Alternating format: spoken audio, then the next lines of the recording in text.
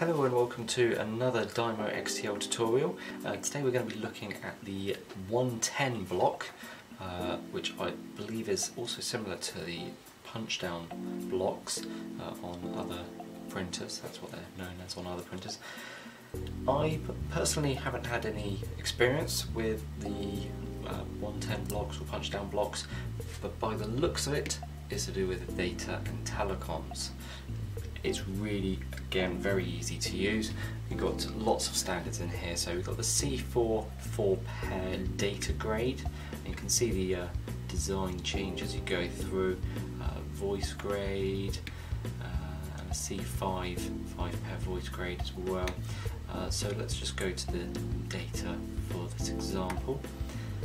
And really these are very, very standard. So not really much you can change on these.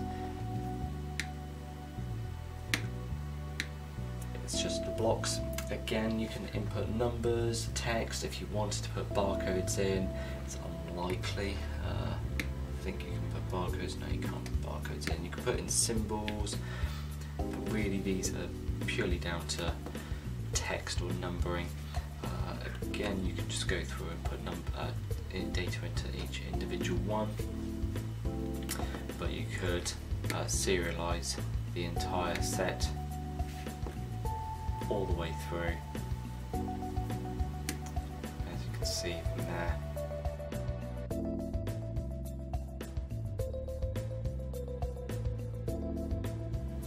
These, there we are, box, that's it. It might be handy to put a board around it like that. Even manually set the text size as some of them are a little bit bigger than others. Much better, there we go. Makes it nice and uniform, ready to print. I don't think you'd use 54mm for this, but you might do. Uh, probably a lot smaller. I'd imagine 12mm would be the type of size you'd be expected to use, 12, 18 or 24. And there you go, that's ready to go on a 110 block.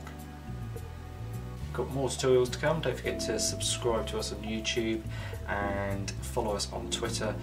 Loads more tutorials on our blog and a few more to come. Thank you very much for watching.